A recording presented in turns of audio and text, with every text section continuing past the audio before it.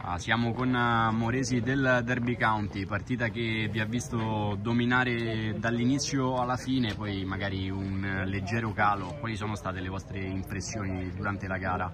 No, diciamo la partita è stata sì, dominata dal primo all'ultimo minuto.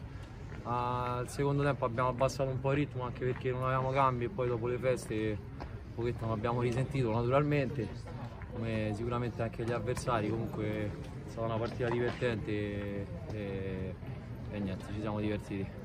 Perfetto, allora grazie mille e un grosso in bocca al lupo per il resto della Arrivederci, in bocca al competizione. lupo, Crepi, grazie.